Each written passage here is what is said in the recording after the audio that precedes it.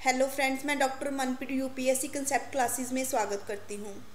अभी तक जो हम, जो स्टडी कर रहे थे, वो हम सेल के, जो है सेल के रिगार्डिंग डिस्कशन कर रहे थे कि सेल क्या होता है, क्या रोल है, क्या इम्पोर्टेंस है सेल की हमारी बॉडी में।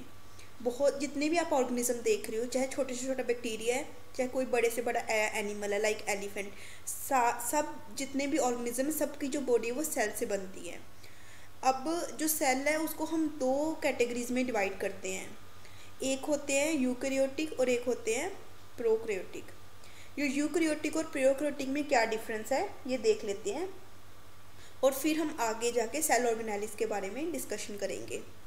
जो प्रोक्रियोटिक सेल्स हैं, ये प्रिमिटिव ऑर्गेनिजम्स अब प्रिमिटिव ऑर्गेनिज्म कौन से हैं? जब लाइफ स्टार्ट हुई थी अर्थ में अर्थ पे जब लाइफ स्टार्ट हुई थी जब अर्थ पे लाइफ स्टार्ट हुई थी, तब जो ऑर्गेनिज्म प्रेजेंट थे ह्यूमन बींग्स तो ऐसे डायरेक्टली नहीं आए ना। ह्यूमन बींग्स तो जो दूसरे ऑर्गेनिज्म हैं, उनसे एवॉल्व हुए हैं। एवॉल्व हुए, जिसको हम ह्यूमन एवोल्यूशन बोलते हैं, उसको हम डिस्कशन करेंगे एंथ्रोपोलॉजी में वन बाय वन लेकिन हमें यहाँ पे प्रिमिटिव का मतलब समझना चाहिए, जो पुराने ऑर्गेनिज्म थे। जब लाइफ स्टार्ट हुई थी जब पहले क्या थे? पहले बैक्टीरिया थे। बैक्टीरिया के बाद फिर छोटे छोटे दूसरे एनिमल्स आए हैं और बाद में मैमल्स आए हैं। और मैमल्स में जो प्राइमेट ऑर्डर है, जिसमें ह्यूमन बींग्स आते हैं, वो बहुत ही एडवांस स्टेज में आए हैं। तो जो उनमें जैसे बैक्टीरिया, अभी भी एग्जिस्ट करता है बैक्टीरिया तो? कितने सारे बैक्टीरिया हमारी बॉडी के अंदर? हमें पता भी नहीं कितने ज़्यादा हमारा जो, ये जो गट है, जो हमारा डाइजेस्टिव सिस्टम है ठीक है? इसकी जो जिसमें जिस पे खाना जाता है, उसमें पता नहीं कितने सारे बैक्टीरिया है और वो सारे बैक्टीरिया हार्मफुल नहीं होते, कुछ बैक्टीरिया हमारी बॉडी के लिए यूज़फुल भी होते हैं। तो वो इंपॉर्टेंट है। लेकिन कुछ बैक्टीरिया बहुत सारी डिज़ीज़ करते हैं। तो उससे क्या होती है? उससे ह्यूमन बींग्स के लिए काफ़ी ज़्यादा नुकसान होता है उन बैक्टीरिया से। तो बैक्टीरिया बहुत ही प्रिमिटिव ऑर्गेनिज्म है और जो प्रिमिटिव ऑर्गेनिज्म में जो सेल होते हैं, उनको प्रियोक्रोट सेल बोलते हैं। अब जो प्रिमिटिव ऑर्गेनिज्म में ये प्रोक्रियोट्स होते हैं, ये जो सेल होते हैं, ये यूक्रियोट्स जो मतलब हम जो मैमल्स हैं, जो एनिमल्स हैं, जो मल्टी सेलुलर ऑर्गेनिजम्स हैं, जो एडवांस्ड ऑर्गेनिजम्स हैं मल्टी सेलुलर इनसे काफ़ी डिफरेंस है। क्या डिफरेंस है? हम वन बाय वन स्टडी करते हैं। जो प्रोक्रियोट्स होते हैं। इनका जो सेल है बहुत ही सिंपल होता है। उसमें ज़्यादा कम्प्लेक्सिटी नहीं होती है। इसमें कुछ ऐसी ऑर्गेनाइज नहीं है जो इस सेल को कॉम्प्लेक्स करे। सिंपल सिंपल से ऑर्गेनाइज होंगे, इनकी साइटोप्लाज्म भी सिंपल सी होगी और न्यूक्लियस भी जो है सिंपल सा ही होगा।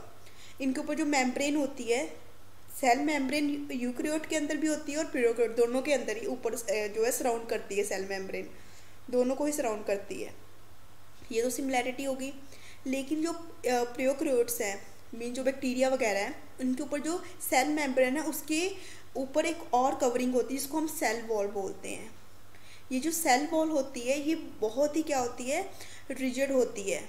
रिजिड होती है और नॉन लिविंग होती है, ये जो सेल वॉल है। ठीक है? लेकिन ये सेल मेम्ब्रेन क्या है? ये क्या लिविंग है। ये सेल वॉल क्यों होती है बैक्टीरिया वगैरह के सेल के सराउंड में? क्योंकि जो बैक्टीरिया अपनी प्रोटेक्शन नहीं कर सकते हैं। और कई बार तो इनके इन, जो है एक ही सेल से बनते हैं, और वो तो बहुत ज़्यादा प्रोन होगा किसी डिज़ीज़ के कारण, कोई ऑर्गेनिज्म अटैक ना कर दे तो इसलिए इनके सराउंड में सेल वॉल होती है। ऐसा नहीं है कि सब सब प्रोक्रियोट्स के अंदर ही सेल वॉल होती है, कुछ जो यूक्रियोट्स है, उनके सराउंड भी सेल वॉल होती है। और जो इनका न्यूक्लियस है, जो जो जो मैंने बोला था ना ये सेल है जैसे ये न्यूक्लियस है। तो जो न्यूक्लियस जो है, यहाँ पे जो प्रियोक्रियोट्स है, उनका जो न्यूक्लियस होगा, उसके ऊपर मेम्ब्रेन नहीं होगी न्यूक्लियस के। ऐसे ही न्यूक्लियस पड़ा होगा। कुछ मेम्ब्रेन नहीं है। ऐसे पड़ा होगा। लेकिन जो यूक्रियोट्स है, उनका जो न्यूक्लियस होगा, उसके सराउंड में मेम्ब्रेन भी होगी।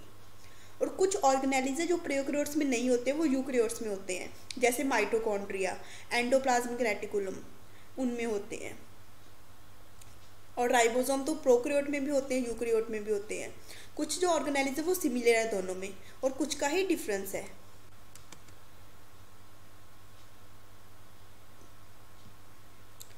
Inside the cell is a dense membrane bound bound structure called nucleus. हमें पता है, हर एक सेल के अंदर एक जो ये सेल है, इसके अंदर ये क्या होती है, न्यूक्लियस होता है। तो वही बात की है कि inside the cell is a dense membrane bound structure called nucleus. इस न्यूक्लियस के अंदर अब बेसिकली ये न्यूक्लियस बनता कैसे है? ये किससे बनता है? क्रोमोजोम से बनता है। और क्रोमोजोम की स्ट्रक्चर कैसी होती है? ऐसी होती है। क्रोमोजोम्स की होती है। और ये जो क्रोमोजोम है, ये किससे बनते हैं? जेनेटिक मटेरियल से बनते हैं, जिसको हम डीएनए बोलते हैं। डीएनए की फुल फॉर्म क्या है? Deoxyribonucleic acid